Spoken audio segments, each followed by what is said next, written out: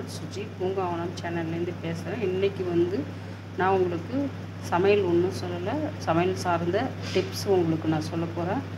என்ன டிப்ஸ் அப்படின்னா நான் அந்த டிப்ஸுங்க எல்லாமே நான் என் வீட்டில் வந்து நான் யூஸ் பண்ணி பார்த்துட்டு ஒவ்வொரு டிப்ஸையும் யூஸ் பண்ணி பார்த்துட்டு தான் அந்த ஒவ்வொரு டிப்ஸையும் நான் உங்களுக்கு வீடியோவாக எடுத்து நான் வந்து சொல்கிறேன் அந்த டிப்ஸ் உங்களுக்கும் யூஸ்ஃபுல்லாக இருக்கும்னு நினைக்கிறேன். இந்த டிப்ஸை வந்து நான் எல்லாருக்கும் என்னோடய ஃப்ரெண்ட்ஸுங்க சர்க்கிளுக்கும் நான் சொல்லியிருக்கிறேன். அவங்களும் யூஸ் பண்ணி பார்த்துட்டு சூப்பராக இருக்குன்னு சொல்லியிருக்காங்க.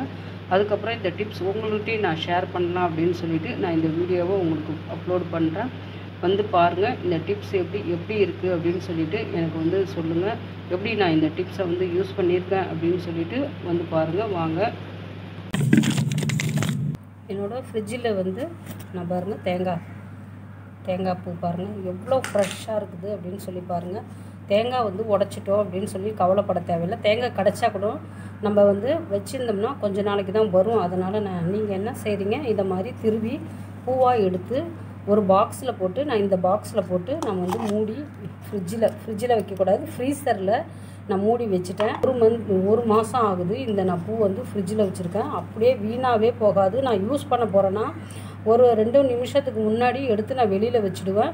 இது வந்து கூலிங் அடங்கிடும். இப்போ கூலிங்காக இருக்குது. இப்போ உங்கள்கிட்ட எடுத்து நேரடியாக காட்டணுங்கிறதுக்காக தான் நான் வந்து வீடியோவில் நான் நேரடியாகவே கொண்டு போய் உங்களுக்கு ஃப்ரிட்ஜிலேருந்து எடுத்து காட்டிடுறேன் நீங்கள் பாருங்கள் எந்த அளவுக்கு பூ வந்து ஃப்ரெஷ்ஷாக ஒயிட்டாக ரொம்ப ஒயிட்டாக எந்த அளவுக்கு சூப்பராக இருக்குது பாருங்கள் இதே மாதிரி இருக்கும். ஒரு மாதம் கூட உங்களுக்கு கெடாமல் இருக்கும். ரெண்டு மாதம் கூட நான் இதை வச்சுருந்து பார்த்துருக்கேன். என்ன பொரியல் பண்ணணுமா என்ன செய்யணுமா அந்த நிமிஷத்துக்கு நான் எடுத்து நான் யூஸ் பண்ணியிருக்கிறேன். சூப்பராக இருக்குது. நீங்களும் உங்கள் வீட்டில் வந்து இதை ட்ரை பண்ணி பார்த்துட்டு எனக்கு சொல்லுங்கள் அடுத்த டிப்ஸில் வந்து சீசன் டைமில் வந்து ரொம்ப குறைவான விலையில் நம்மளுக்கு கிடைக்கும். அப்போ வந்து நம்ம ஃபுல்லாக நிறைய வாங்கி இந்த மெத்தடில் வாங்கி ஆடி ரெடி பண்ணி வச்சுக்கணும். இந்த மெத்தடில் வாங்கி ரெடி பண்ணி வச்சுக்கணும். இப்போ வந்து நாங்கள் வந்து வெயிலில் வந்து வச்சுருக்கேன் இந்த எண்ணெயை. உங்கள்கிட்ட காட்டணும் அப்படிங்கிறதுக்காக தான் நான் வந்து வீடியோ எடுத்துகிட்ருக்கிறேன் இது வந்து ஒரு வாரத்துக்கு நான் ஆடி எடுத்துகிட்டு வந்து ஒரு வாரத்துக்கு நான் இதை வெயிலில் வந்து காய வச்சுடுவேன். இதில் வந்து காய வச்சு என்ன செஞ்சிருவேன் அடியில் வந்து பின்னாக்கு வந்து தங்கிடுவோம். அப்போ வந்து நான் இந்த எண்ணெயை வந்து நான் என்ன செய்திருவேன் வேறு பாத்திரத்தில் வந்து நான் ட்ரான்ஸ்ஃபர் பண்ணிவிடுவேன் ட்ரான்ஸ்ஃபர் பண்ணிவிட்டு அதில் வந்துட்டு அதை என்ன செய்வேன்? அதில் வந்து பனைவெல்ல இருந்துச்சுன்னா கொஞ்சமாக அதில் போட்டு எடுத்து வச்சுருவேன் இதுக்கப்புறம். எடுத்து வச்சுட்டா ஒரு வருஷத்துக்கு கூட இது வந்து வீணாகவே ஆகாது. சிக்கு வாடை கூட வராது. அந்தளவுக்கு சேஃபாக ரொம்ப அருமையாக இருக்கும். இங்கே பாருங்கள் நான் ஆடி ரெடி பண்ணி வச்சுருக்கிறேன். நல்லெண்ணெய் தான் இது நான் ரெடி பண்ணி ரெண்டு பாத்திரத்துலையுமே நான் ஆடி ரெடி பண்ணி வச்சுருக்கேன். இது வந்து எண்ணெயை வந்து ஆடிக்கிட்டேன். இந்த மெத்தடில் வந்து நீங்களும் ஃபாலோ பண்ணுங்கள் கடையில் வந்து நல்ல எண்ணெய் கிடைக்குதா அப்படின்னு சொல்லிட்டு நம்மளுக்கு தெரியாது. அதில் வந்து கலப்படம் இருக்குது அப்படின்னு சொல்லிட்டு நம்ம உடம்பு ஹெல்த்துக்கு வந்து ரொம்ப நல்லது கிடையாது. இதை மாதிரி நம்மளுக்கு குறைவான விலையில் கிடச்சிதுன்னா வாங்கி ஆடி ரெடி பண்ணி வச்சுக்கலாம். இது ஒரு டிப்ஸாக நீங்கள் யூஸ் பண்ணி பாருங்கள் நான் ஏன்னா வருஷம் வருஷம் இதே மாதிரி வருஷத்துக்கு ஒரு தாட்டி நான் இதே மாதிரி யூஸ் பண்ணி பார்த்துட்டு இதை வீடியோ உங்களுக்கு போடணும்னு சொல்லிட்டு ஒவ்வொரு டிப்ஸையும் நான் யூஸ் பண்ணிவிட்டு அதை எடுத்துகிட்ருக்கேன் வீடியோ அடுத்த டிப்ஸ் என்னன்னு பார்க்கலாம். அடுத்த டிப்ஸ் வந்து புளிங்க. புளி வந்து ரொம்ப இம்பார்ட்டன்ட் நம்ம வந்து வருஷத்துக்கு ஒரு தாட்டி தான் அதை நம்ம வாங்கி ரெடி பண்ணி அதை க்ளீன் பண்ணி கொட்டெல்லாம் எடுத்துகிட்டு ரெடி பண்ணி நம்ம வச்சுப்போம். ஓகே அது வந்து ஆனால் எதில் வச்சாலும் நம்மளுக்கு அப்படியே கருப்பாக போயிடும் பாருங்கள் கருப்பாக போயிட்டு ஒரு ஒரு த்ரீ மந்த்துக்குள்ளாரே அது மா ஒரு மாதிரி டார்க் கருப்பாக மாறிடும். அப்போ வந்து யூஸ் பண்ணவே ரொம்ப கஷ்டமாக இருக்கும். சாம்பார்லாம் வச்சா கலரே மாறிடும். ஸோ அதை மாதிரி இருக்கிறச்ச எனக்கு ஒரு ஃப்ரெண்டு சொன்னாங்க. அதை தான் நான் இப்போ ஃபாலோ பண்ணிகிட்ருக்கேன் அந்த ஃபாலோ பண்ணுறதா உங்களுக்கு வீடியோ எடுத்து நான் டைரெக்டாக அதை எடுத்தே நான் காட்டுறேன். நான் இந்த புளியை வந்து வருஷத்துக்கு ஒரு தாட்டி நான் எடு வாங்கி நான் கொட்டெல்லாம் எடுத்து ரெடி சுத்தம் பண்ணி க்ளீன் பண்ணி ஃப்ரீசரில் வச்சுடுவேங்க. ஃப்ரீசரில் வச்சுட்டு நான் யூஸ் ப எவ்வளோ யூஸ் பண்ண போகிறேனோ அவ்வளோ அந்த அளவு மட்டும்தான் நான் எடுத்து இந்த பாக்ஸில் வச்சுப்பேன். இந்த மீதி வந்து நான் எல்லாத்தையுமே எடுத்து ஃப்ரீசரில் வச்சுட்டேன்னா நான் ஒரு பா ஒரு கவர் நல்லா கவர் நல்ல கெட்டினா கவர் போட்டு ஃப்ரீசரில் வச்சுட்டேன்னா அந்த நேரம் வந்து நான் எப்போ யூஸ் தீர்ந்துருச்சுன்னா எனக்கு எந்த நேரம் எனக்கு யூஸ் ஆகுதோ தீர்ந்துருச்சுன்னா உடனே அதுலேருந்து நான் எடுத்துப்பேன்.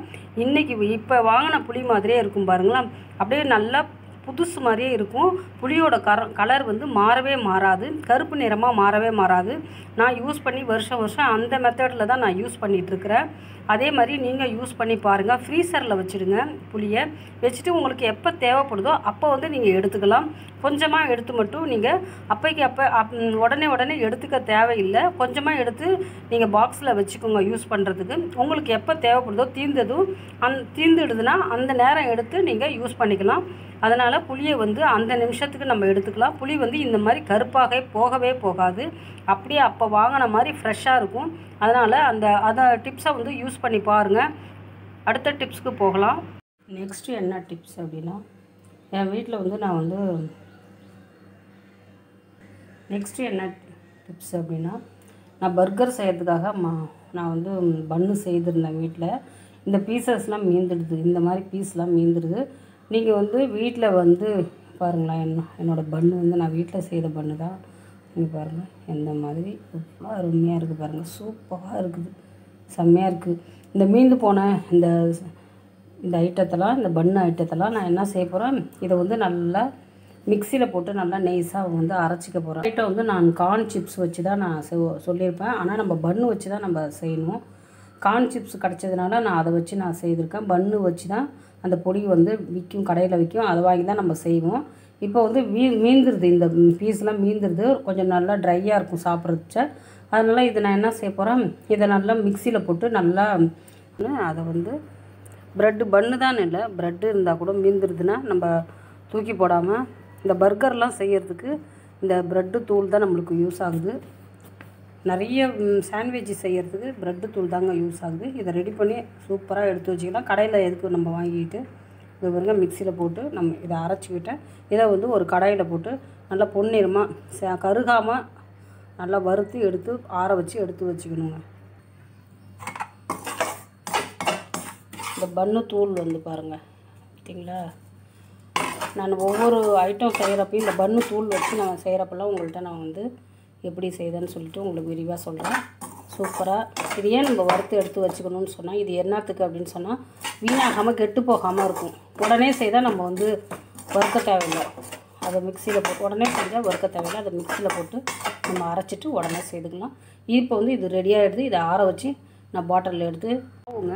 இந்த மாவு என்ன ஆகிடும் எனக்கு ஒரு நாள் ரெண்டு நாள் தான் தாங்கும்.